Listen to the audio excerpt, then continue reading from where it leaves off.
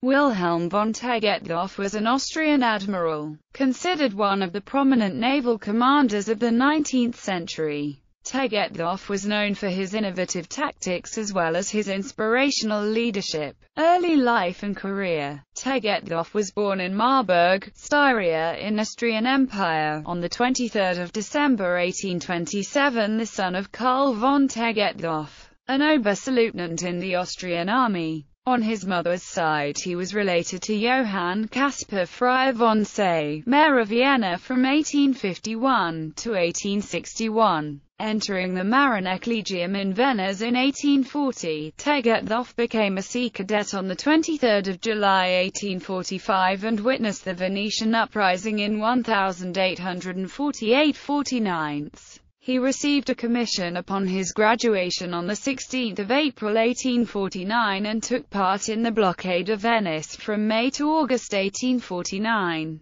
Tegetthoff was promoted to Fregattenleutnant on 16 June 1851 and Linienschiffsleutnant on 16 November 1852. Tegetthoff received his first command, the naval schooner Elizabeth, in 1854. This was at the time of the Austrian Navy's intensive conversion to steam power, of which he was an earnest advocate. In 1855 he was appointed commander of the paddle steamer Taurus, patrolling the Sulina mouth of the Danube during the Crimean War. This service brought to him to the favourable notice of Archduke Ferdinand Maximilian of Austria, the Oberkommandant der Marine, with whom he had been acquainted since 1850. Promoted to Korvettenkapitän in 1857, Tegetthoff served on a semi-official scientific expedition to the Red Sea. Having shown exceptional diplomatic and organizational ability, in December 1857 he was appointed a staff officer. He was named commander in 1858 of the new screw corvette Erzherzog Friedrich on the coast of Morocco, then in a confused state of disorder. The Italian campaign of 1859 saw the Austrians unable to challenge the French fleet for mastery of the Adriatic. With the return of peace, Tegetthoff accompanied Ferdinand Maximilian on a voyage to Brazil to visit Emperor Pedro II during the winter of 1859 60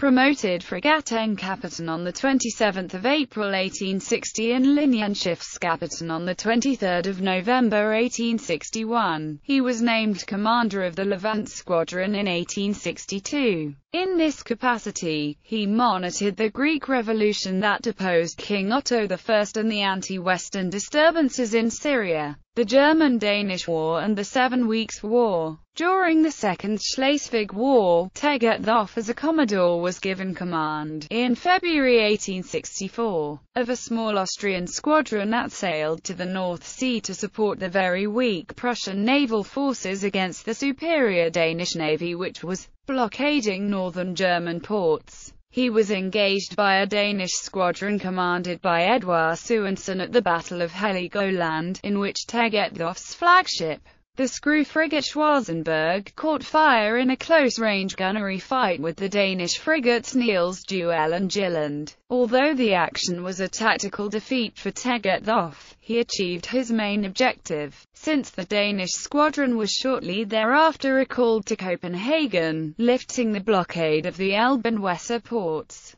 Tegetthoff's telegraphic dispatch was answered by Emperor Franz Joseph I with another on 12 May 1864 promoting him Kontre-Admiral and conferring upon him the Order of the Iron Crown. Tegetthoff was appointed commander of the Austrian battle fleet on 9 May 1866, shortly before the war against Italy. Although the Italian fleet was larger and more powerful, Tegetthoff decided to engage it after a successful reconnaissance of the Italian base of Ancona on 27 June 1866 with their army suffering defeats against the Austrians during the first week of the war from 20 to 27 June 1866. The Italians sought a victory over the Austrian navy by sending their fleet against the Austrian naval base at Lissa, off the coast of Dalmatia near Spalato on 16 July 1866. Encountering the Italian fleet early on the morning of 20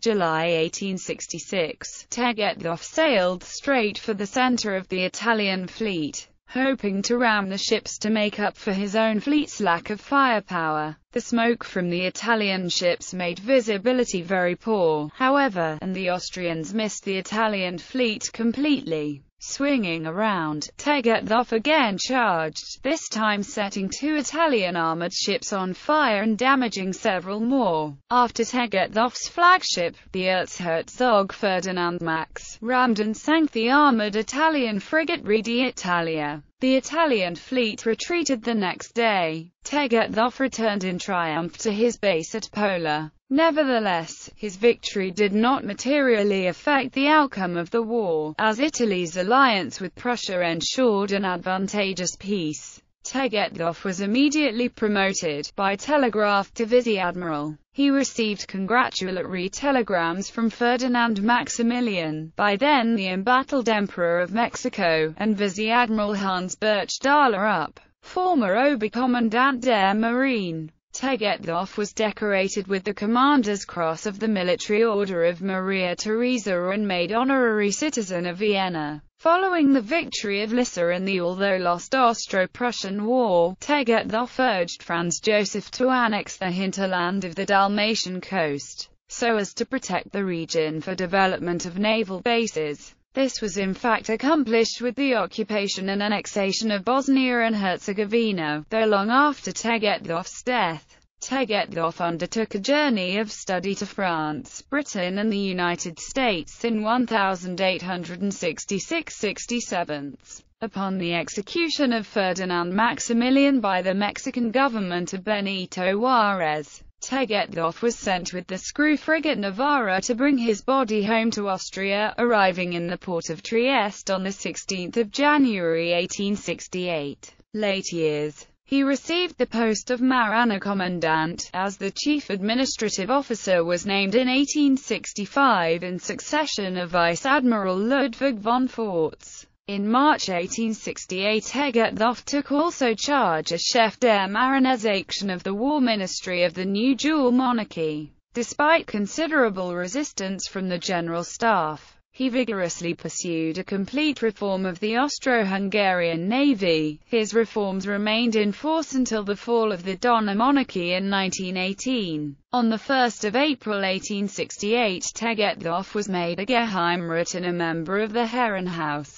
Tegetthoff died suddenly from pneumonia on 7 April 1871 in Vienna at the age of 43. His grave is located in the cemetery of St. Leonhard in Graz. He was succeeded as head of the naval administration by Friedrich von Pock. Memorials Memorials to Tegetthoff were erected in Vienna and Pola. The monument on Vienna's Praterstrasse, the largest traffic junction of the city, consists of a column 11 meters high, topped by a bronze statue of Tegetthoff, some 3.5 meters in height, by Karl Kundmann and was finished in 1886. The memorial at Pola, also by Kundmann, was erected in 1877 and consists of a bronze statue of Tegetthoff, with supporting bronze mythological figures. Pola passed to Italian sovereignty in 1919, and in 1935 the monument was moved to Graz, Austria.